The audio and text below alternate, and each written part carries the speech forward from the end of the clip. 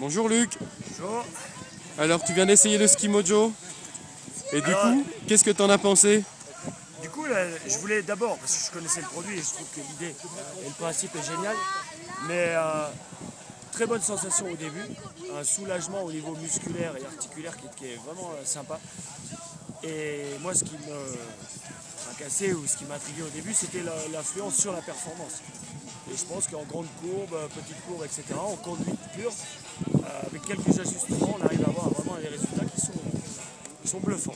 Donc euh, je pense que très bonne idée, Ok. très bonne idée. Et tu le conseilles à qui du coup? Est-ce que tu pourrais le conseiller en réadaptation de skieurs qui reviennent de blessures De blessures, retour sur la neige, ça, ça peut être déjà une première euh, utilisation. Et puis euh, ceux qui n'ont pas la force musculaire pour, euh, et qui ont déjà le niveau technique par contre, pour faire des courbes, ça c'est bien aussi. Mhm. Ceux qui sont fatigués ou ceux qui ont des problèmes de genoux, donc tout cela, oui. Parce que nous on va bientôt en avoir les problèmes de genoux. Ils sont déjà opérés donc c'est pour ça. Ouais, Non mais top, moi j'ai vraiment bien aimé. impeccable. Bah, écoute, je te remercie beaucoup pour cet essai. C'est un plaisir.